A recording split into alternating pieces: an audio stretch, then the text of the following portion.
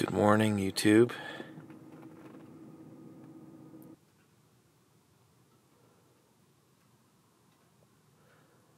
It's 5:40 in the morning, and I'm right outside Ando's house.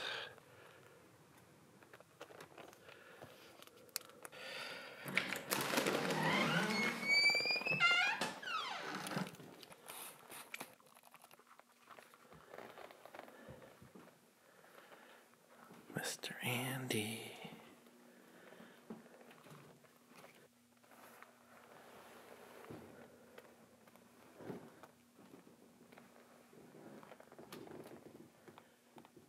There's a cat.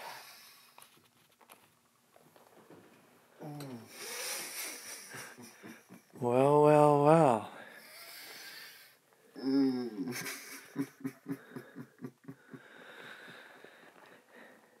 Is it really you? Mm, good morning, Peter. Good morning, Andy. We're trying to answer the question Are you really that pretty in the morning?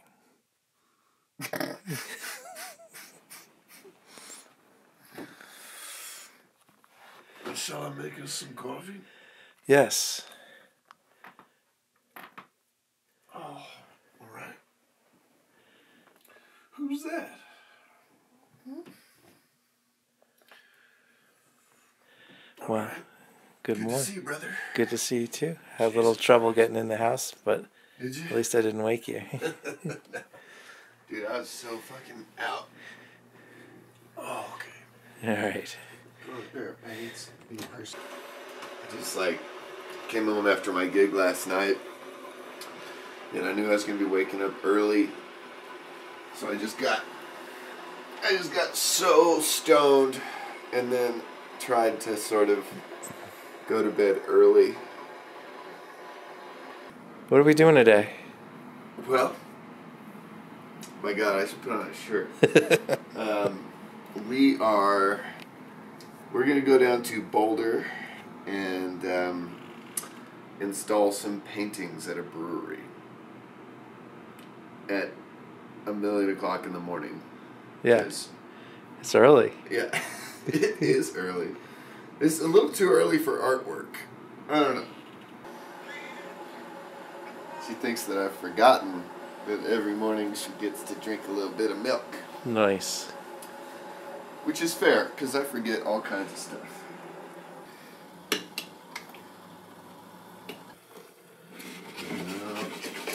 I used to be a professional coffee maker. Did you know that? I did not know that. Yeah. For a minute. A long minute.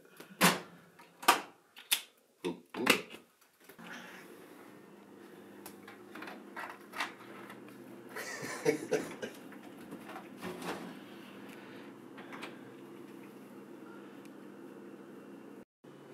What do you mean?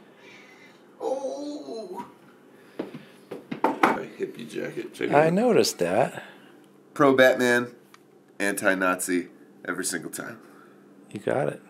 I've been wearing this anti Nazism stick uh, pin for 15 years, you know, and it was always just kind of this cute little, well, of course, you know, Who wouldn't? everyone's against the Nazis. But this year, it seems like a, an important pin to wear. You know? oh my God! Yeah. It doesn't seem like everybody's so anti-Nazi anymore. And as like a six foot tall white blonde guy, I think it's probably pretty good for me to go on the record as being anti-Nazis. Cause I, I hate the Nazis, but the Nazis would love me, right? Because I'm, I'm their prototype. I'm like Hitler's wet dream, you know? Like six foot tall, white fella with the blonde hair and the blue eyes. I'm exactly what they wanted the whole world to look like. So uh, the Nazis probably would dig me, but I, I don't dig them. I turn down them, you know? Hitler's wet dream. Wow. You know, this painting is called Don't Count the Bushes. And uh, everything in the painting is numbered out to the Fibonacci sequence. Yeah.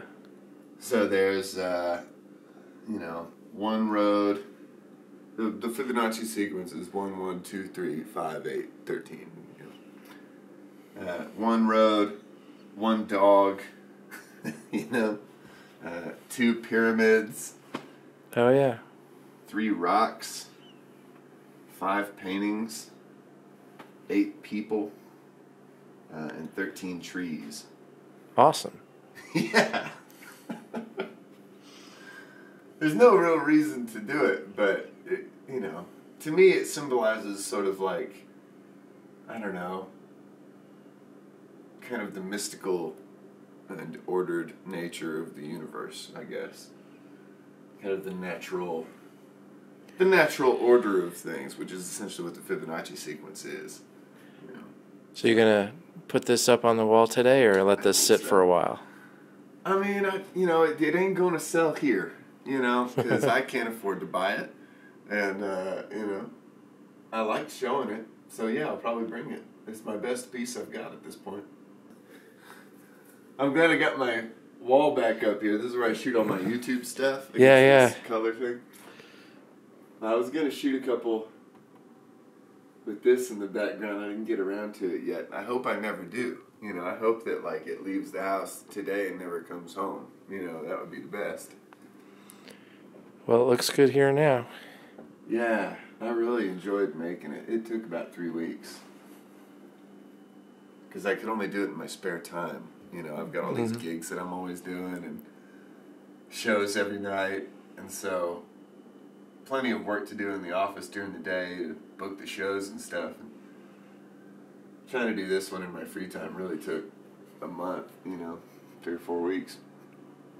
How long does your typical painting, a painting, take? Probably like five sittings. You know, Yeah. something like that.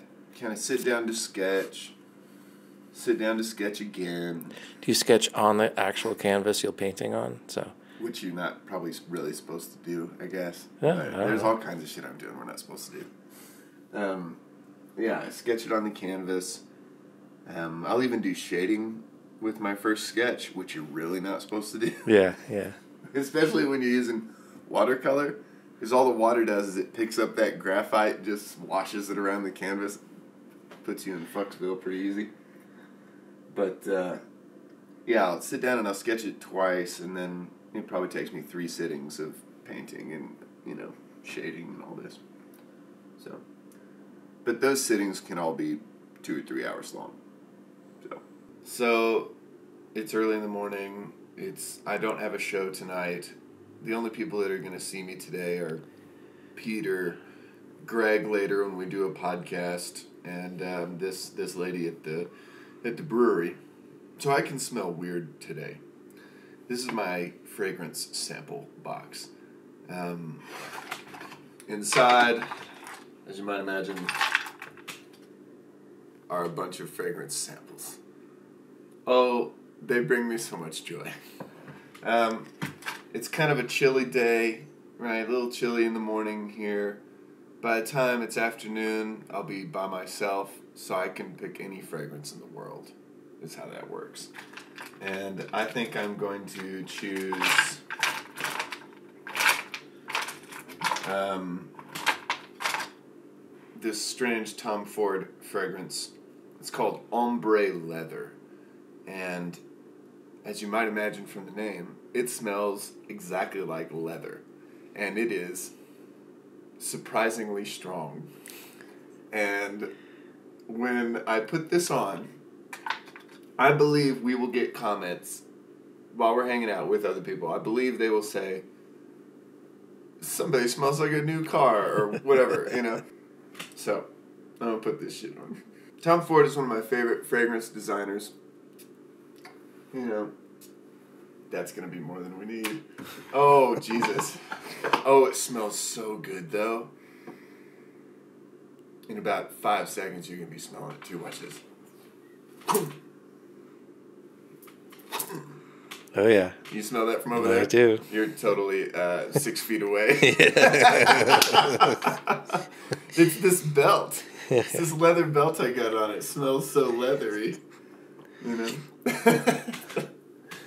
So that's gonna be my fragrance. This is gonna last me all day. Greg's gonna ask me about it tonight at six p.m. in the twelve hours. Greg's gonna be like, "What? Why do you smell like a couch or whatever?" so here's one, two, three, four, five, six, seven, eight, nine, ten, eleven, twelve, thirteen. I could hang twenty paintings in this joint. There it is. Muchas gracias, amigo. Is this open? Yep.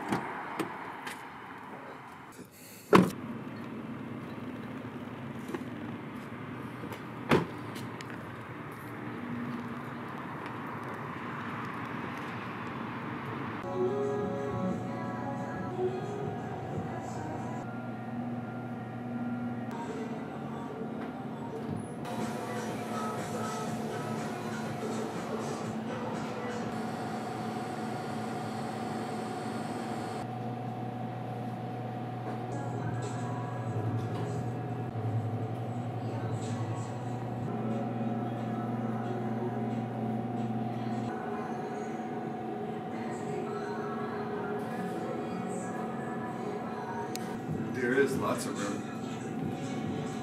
Awesome.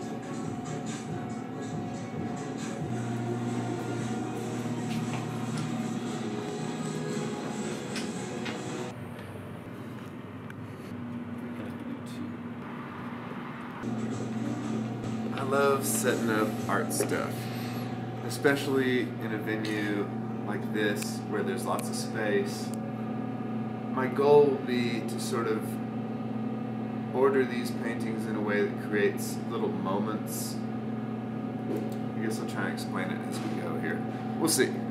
He's helpful, but he's also a fool.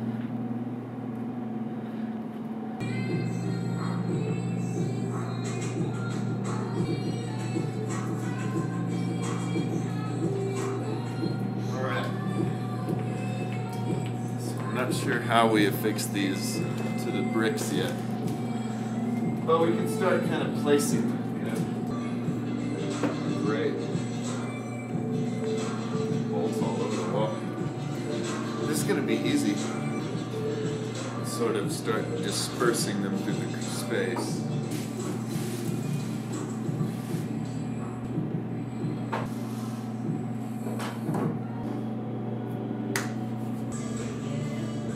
Alright, so I think I'm gonna put this big painting here. That seems like the best spot. Let's see if I can get this light.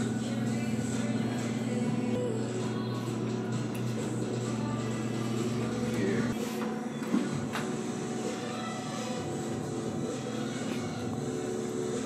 This is fun. I love doing this, man. Setting up an art show. Yeah. It, for some reason, It's like a, making a set list, right? it get- is you- totally you- like making the set list. That's right. And this color on this wall goes very well with all the blues that I'm using. Some of this stuff I could probably just hang already. Knock some of this out now.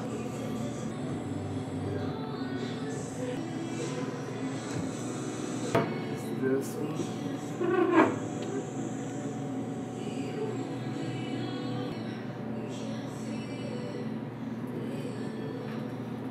I'm not good at putting it on the wall straight.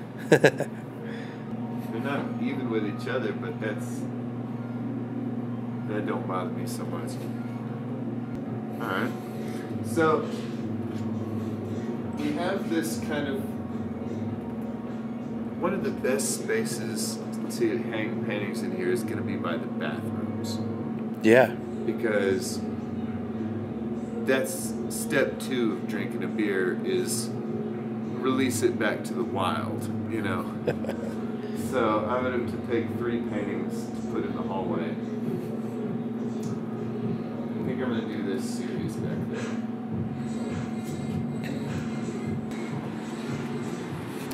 These are some of the more fun paintings I've done lately. I think this is a primo spot.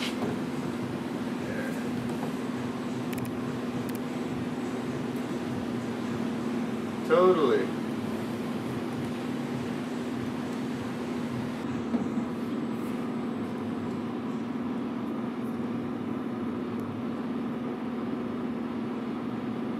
This is a, a lady I met in Longmont. She worked at the Firehouse Art Center there for a minute. Her name is Celia. She's a beautiful young lady and uh, perfect for this particular image.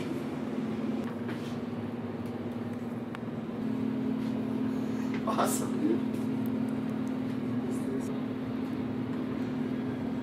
dude. Yeah, that works. What do you think? I think it looks good. I think so too. Look, we're just knocking this out. I love. I like my paintings, right? And I like that they make me laugh, you know? Because I'm the first customer, you know what I'm saying? And I need this stuff to bring me joy.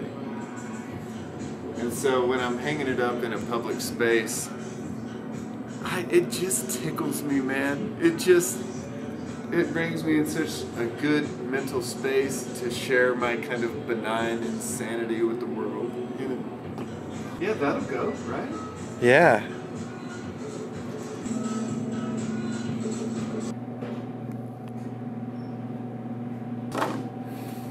trying to create these little moments where these paintings are sort of hanging out together a little bit,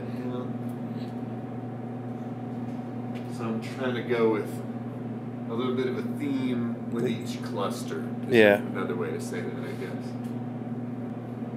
I think we're in pretty good shape so far. I've got two more here, one more there. Boy, if I had a screwdriver. The more I look at this collection, the more I realize how much blue and pink I use.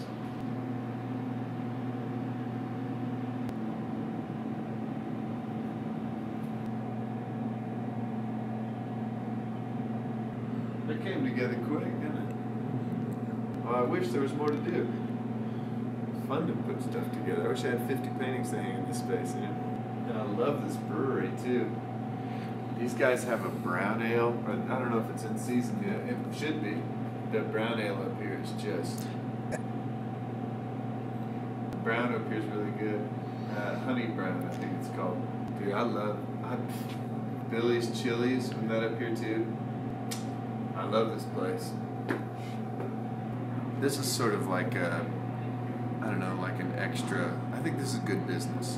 Um, I'll be taking my business cards and I'll be writing a thank you note on the back of them, and I'll be putting them behind the painting. So when you take the painting home, you pull out this little card that says thank you for your interest in my work. It's got my contact information.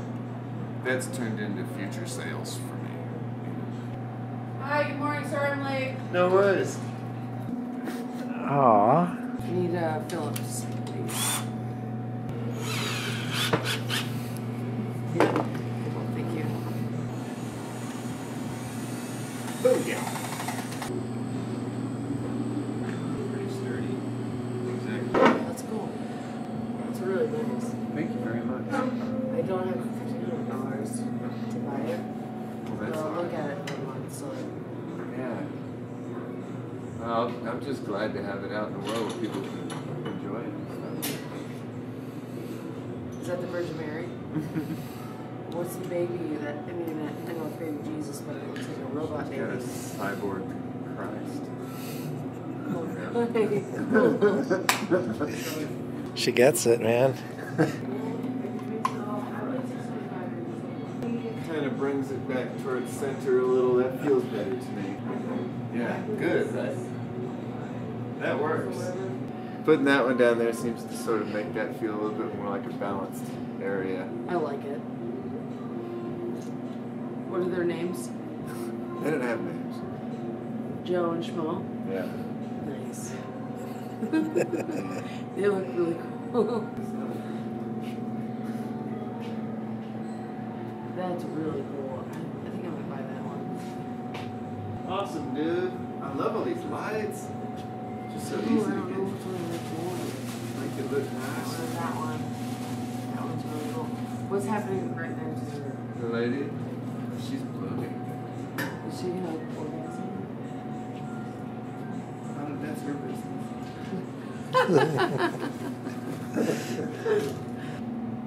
Yeah, I did this painting. I thought it was a cool STEM concept. It's then I so realized cool. what I was mostly painting was ladies' asses. misses at like a super great angle. Yeah, I see all the buds. Boy, I value it. Buds and bud. Michelle, when did you start doing this whole art on the walls here? Um, January of this year. Okay. Thanks for including me. Uh, Andy here is one of my favorite artists so far. Oh my god. Thank you so Oh, much. that's awesome. I like this girl too. I saw her on your Facebook. Yeah, that's uh, my friend Lindsay Carnes. So that's not somebody you made up. That's an actual person. Usually when I do a full size portrait, I use a friend. Yeah.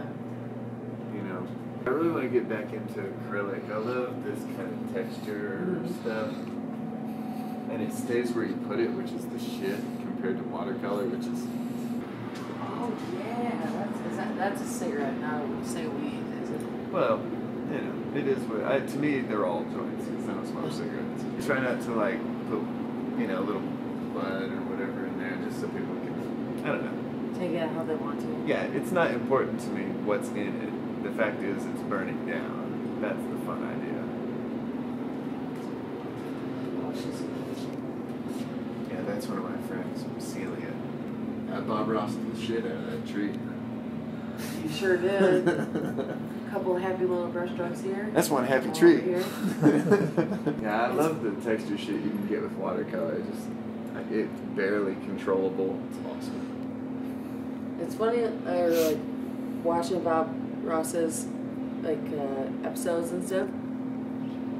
He'll have the, the most amazing landscape ever, and then he just starts painting over it with something else. Yeah. You're like, dude, you just Uh, messed up that whole yeah. thing. He But like puts it- a tree over it or something. Holy Yeah. fuck! But then it turns out amazing. Yeah. Like, oh, I cannot stop watching it. And I then there's always those like pet little shorts at the end. Yeah, with his little chipmunks or whatever they are, Hey, squirrels we and have a happy sloth here. and then he like plays with the sloth. It's Yeah. He's a cool. great. He's like He's an entertainer. one of sure. my favorite artists. One because he makes beautiful work, sure, but also you can tell he's a good dude, Yes. and like that comes through in his work, you know, and that makes me like his work more because of the kind of dude he is. You know what I mean? So that's why I like Bob Ross a lot. Bob Ross is pretty chill. Fuck yeah. I love that color of the wall. That really seems to go with a lot of the colors I'm using. It, it looks really nice, yeah. Well, cheers. I'm definitely gonna. I'm either gonna get the one of you thinking, or the girl. Hmm. I Because encourage all that. of your colors go with my palette at my house. Thanks for spending the morning with me, Peter. Yeah, man, it was a pleasure. It was. Thank you very much for spending the morning uh, with me and watching this video. As I say that, I recognize that it's morning for me, but you will almost by default not be watching this as I'm making it. So when I say thank you for spending the morning with me, what I really mean is this is how I spent my morning. Thank you for watching. uh, if you'd like to uh, see my paintings, then you can go to Twisted Pine Brewing in Boulder, Colorado in the month of October um, in the year 2018. And um, those paintings will be up and uh, for sale. Uh, meanwhile, thank you for coming to my YouTube channel.